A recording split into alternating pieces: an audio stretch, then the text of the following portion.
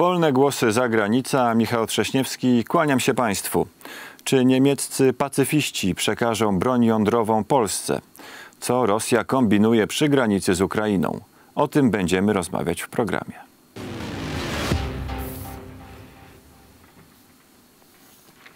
I witam się z naszym gościem, a jest nim pan Marek Budzisz, analityk do spraw poradzieckiego wschodu, Strategy and Future. Dzień dobry. Dzień dobry. Wczoraj w Niemczech podpisano umowę koalicyjną, umowę koalicyjną nowego rządu, który zostanie zaprzysiężony najprawdopodobniej w grudniu. Będzie to rząd lewicowy, który będzie składał się z takich partii jak SPD, jak liberałowie i jak Zieloni. Natomiast co nas interesuje a propos tej umowy koalicyjnej w kontekście dzisiejszej rozmowy? To, że w tej umowie koalicyjnej zadeklarowano, że Niemcy pozostaną w programie NATO Nuclear Sharing, czyli w programie współdzielenia amerykańskiej broni jądrowej w Europie. Wcześniej spekulowano, że lewicowy niemiecki rząd będzie chciał się z tego wycofać ze względu na nastroje antyatomowe, jakie e, panują w Niemczech. Nawet sugerował to szef NATO, czyli Jens Stoltenberg, a wcześniej ambasador Stanów Zjednoczonych w Polsce. E, czy ta umowa koalicyjna, czy te deklaracje niemieckie oznaczają, że Polska nie ma szansy partycypować w tym programie natowskim Nuclear Sharing? No ta decyzja, że Niemcy mm, zostaną w programie nuclear sharing e, nie jest czymś niespodziewanym. To znaczy, mm, znane były głosy części, mm, e, e, zwłaszcza lewego skrzydła SPD, związanego z ekspertem do spraw międzynarodowych, Ralfem Mützenichem, który mówił o zamrożeniu jakby tej kwestii może nie tyle uczestnictwa w programie Nuclear Sharing, ale zakupu nowych samolotów zdolnych do przenoszenia amerykańskich bomb y, atomowych B-61, bo na tym ta kwestia w gruncie rzeczy w przypadku Niemiec polega. Otóż te samoloty Herkulesy, które, które są na wyposażeniu niemieckich sił zbrojnych, one podlegają przyspieszonemu starzeniu się i z 85 sztuk Według ostatnich da danych sprawnych jest 15. W związku z tym, gdyby Niemcy nie potwierdziły awizowanego jeszcze przez e, panią Keren Bauer e, zakupu e, amerykańskich myśliwców Super Hornet, no to w pewnym sensie problem by się sam rozwiązał ale i za tego rodzaju zamrożeniem tej decyzji opowiadało się lewe skrzydło SPD, mm, ale sam premier i, i, jego bezpośrednie otoczenie, o tym trzeba pamiętać, to jest pewien polityk środka e, i to jest polityk, który już zapowiadał wcześniej i zresztą niedawno potwierdził, że w, będzie e, przede wszystkim kontynuował ten kurs, który wyznaczyła Angela Merkel w ramach koalicji CDU, CSU, SPD, a w związku z tym ta decyzja o potwierdzeniu zakupów nie jest zaskakująca, wydaje mi się. E, ona też e, pokazuje, że sprawy międzynarodowe w niemieckiej polityce, niezależnie od tego, że e, funkcja ministra spraw zagranicznych przypadnie formacji zielonych, będą, wydaje się, przede wszystkim kontrolowane przez SPD.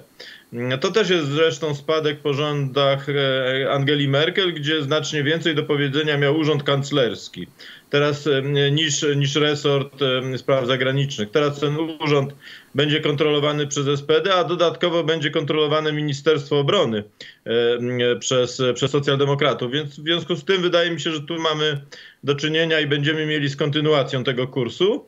Warto jeszcze jedno w tym aspekcie zaznaczyć, a mianowicie w niemieckich elitach strategicznych jest dość duży konsensus, co do tego, że mm, rozszerzenie programu Nuclear Sharing o Polskę z punktu widzenia polityki y, niemieckiej jest uznawane za, za niekorzystne. E, z kilku powodów. Jednym z tych powodów jest jakby duże znaczenie, które tam się nadal przywiązuje mm, do relacji z Rosją i do mm, tego porozumienia NATO-Rosja, e, którego niemiecki establishment strategiczny jakby nadal chce przestrzegać, a ich zdaniem to, jak, to blokuje drogę Polski do tego programu. To jeszcze tak e, gwoli wyjaśnienia, na czym polega ten natowski program Nuclear Sharing, no i czy warto byłoby ewentualnie w nim partycypować, gdyby takie okienko historyczne się pojawiło? Ten, pro, ten, program e, z grubsza rzecz bardzo biorąc sprowadza się do dwóch obszarów. Po pierwsze e, siły, siły, lot, siły zbrojne, przede wszystkim lotnictwo państw uczestniczących w tym programie jest szkolone i nabywa umiejętności e, związanych z, z użyciem w razie wojny i w razie takiego zagrożenia ładunków nuklearnych. Chodzi o te bomby grawitacyjne B-61, które też są składowane na obszarze państw, e, na obszarze państw, które uczestniczą w tym, e, w tym programie. W Niemczech akurat to jest baza w Güell, gdzie, gdzie według ostatnich dostępnych danych znajduje się 20 tego rodzaju bomb. To też oznacza, że państwa uczestniczące w tym programie wchodzą w skład tak zwanego Komitetu Planowania Strategicznego, czyli pewnego ciała współdecydującego, e, a przynajmniej określającego generalne założenia polityki odstraszania nuklearnego, w tym wypadku państw, państw NATO, czy części państw NATO, bo, e, bo, to, bo to jest program, który jest jakby e, prowadzony pod egidą Stanów Zjednoczonych, a takie państwa, które dysponują własnym potencjałem, jak Francja czy Wielka Brytania, w nim, w nim nie uczestniczą. I trzeci wreszcie element niezwykle ważny, E, oczywiście e, mamy tutaj do czynienia z deklaracjami ze strony amerykańskiej. E, to warto podkreślić, że nie są to żelazne zobowiązania traktatowe, tylko deklaracje, iż na wypadek wojny te ładunki bomb nuklearne zostaną udostępnione krajom, krajom na terenie, których one stacjonują i których siły zbrojne są w stanie ich, są w stanie ich używać. To jest, bym powiedział, nieco większy stopień gwarancji nuklearnych niż te generalne gwarancje związane z, z faktem wchodzenia państw e, e, w skład bloku wojskowego, jakim jest NATO. No właśnie i w tym e, programie Nuclear Sharing w tej chwili bierze udział pięć państw. To, jest, to są Niemcy, Holandia, Belgia, Włochy i Turcja. No i wcześniej właśnie dosyć mocno spekulowano, że być może także Polska e, wzięłaby w nim udział. Natomiast e, biorąc pod uwagę, że to jest możliwe albo że to będzie możliwe za jakiś, za jakiś czas ze względu właśnie na te antyatomowe tendencje w niemieckim społeczeństwie, czy Polska ma taką jakość sił zbrojnych, żeby no, wziąć na siebie właśnie to, to brzemię, czy wziąć na siebie e, posiadanie energii, e, posiadanie e, ładunków atomowych, no bo do tego oczywiście wymagana jest pewna logistyka, pewna technologia, no i przede wszystkim pewna jakość sił zbrojnych. No musimy wiedzieć, że polskie siły zbrojne regularnie biorą udział w ćwiczeniach w których między innymi ten, ten, te zdolności w zakresie posługiwania się ładunkami jądrowymi są, są jakby przedmiotem e, treningu. Ostatnie takie manewry we włoskiej bazie Aviano właściwie w dwóch włoskich bazach, w bazie Aviano i Gel, które, w, którym, w których są te ładunki, były z udziałem polskiego lotnictwa, również i czeskiego lotnictwa, państw, które nie wchodzą w skład, nie wchodzą do programu Nuclear Sharing. Więc w tym sensie z technicznego czy szkoleniowego punktu widzenia wydaje się, że my już bylibyśmy w stanie uczestniczyć w tym programie tym bardziej te możliwości, te możliwości wzrosną, jeżeli na wyposażenie naszych sił zbrojnych e, wejdą myśliwce F-35, bo one są znacznie nowocześniejsze niż te e, Super Hornety, o, e, o zakupie których myślą Niemcy. Więc na poziomie mm, sprawności sił zbrojnych z pewnością e, myślę, że już są takie możliwości i być może one będą tylko wzrastać. Tu mamy do czynienia generalnie z pewną kwestią o charakterze politycznym i o, no i o charakterze jakby jakości odstraszania wobec, wobec Rosji. Powtórzę to, co mówiłem. Niemcy uważają, Mm, że dyslokacja ładunków jądrowych na wschód do państw, do, do nowo przyjętych państw e, NATO, te nowo przyjęte no to są innymi Polska, Czechy, mm, nie mówiąc już o państwach bałtyckich, czyli, czyli te, które się znalazły w NATO w ramach rozszerzenia po rozpadzie ZSRR. Otóż elity niemieckie uważają, że będzie to ruch źle odczytany w Moskwie, a w tym sensie są temu przeciwne. To w pewnym, wydaje mi się, że za obecnej administracji Bidena to przesądza sprawę, dlatego że ona dość, dość ostrożnie stara się postępować, jeśli chodzi o relacje z Niemcami, nie, nie zaogniać tychże, tychże stosunków. Ale to oczywiście z naszej perspektywy oznacza, że po pierwsze, nasza ochrona parasolem nuklearnym nie jest tak pełna, jak to ma miejsce w przypadku państw zachodniej Europy. E, a to jest jakby istotna różnica, bo, bo, bo, bo mamy, bo jeżeli niepokoimy się mówiąc, że w ramach Unii Europejskiej może dojść do tak zwanej integracji dwóch prędkości, no to tym bardziej mamy powody do zaniepokojenia, jeśli mamy sytuację, że e, parasol nuklearny, który nas obejmuje, jest znacznie gorszej jakości, mówiąc w pewnym skrócie, niż ten rozciągnięty nad Europą Zachodnią.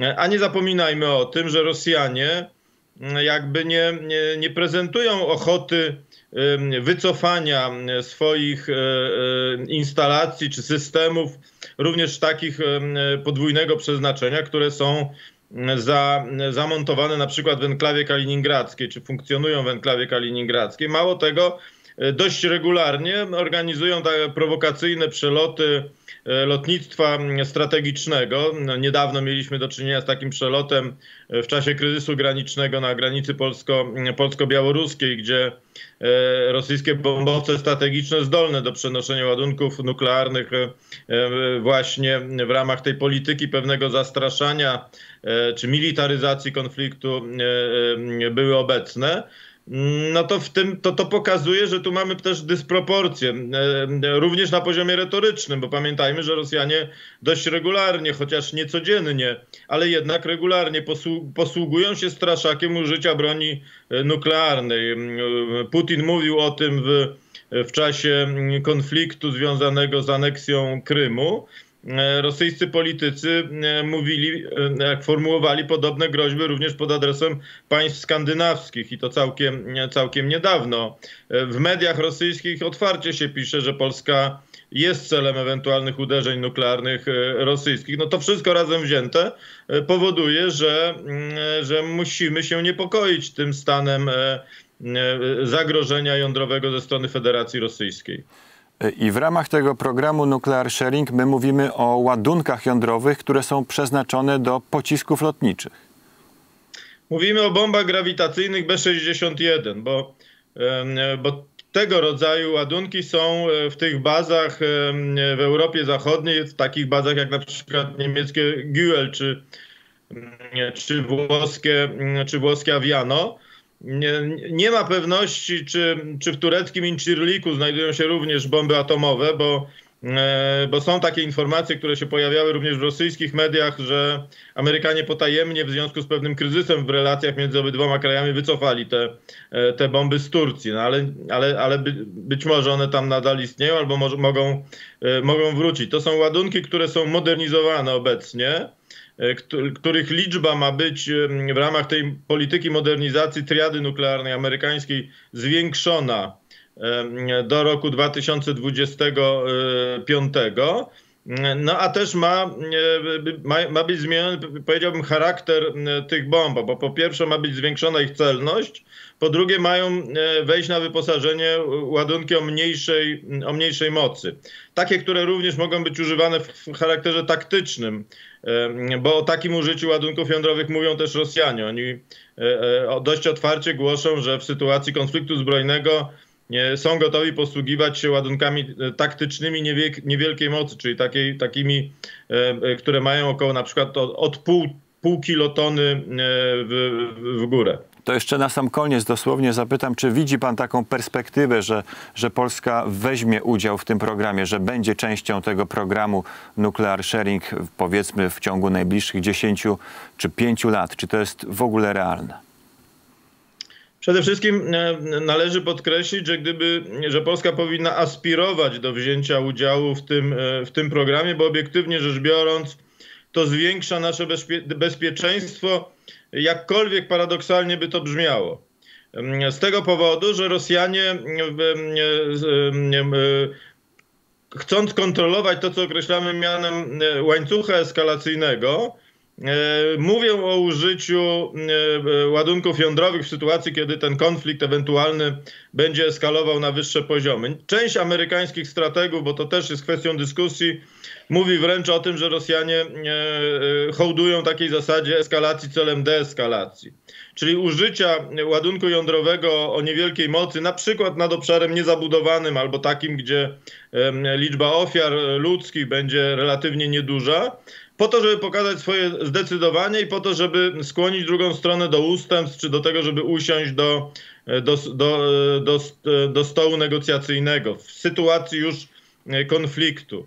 A w związku z tym posiadanie tego rodzaju możliwości odbiera to narzędzie oddziaływania Rosjanom, i paradoksalnie blokuje eskalację konfliktu do poziomu bardzo groźnego starcia nuklearnego. I tutaj musimy postawić kropkę. Bardzo dziękuję. Pan Marek Budzisz, Strategy and Future, był naszym gościem. Dziękuję bardzo. Dziękuję Państwu za uwagę. Zapraszam na jutro. Dobrego wieczoru.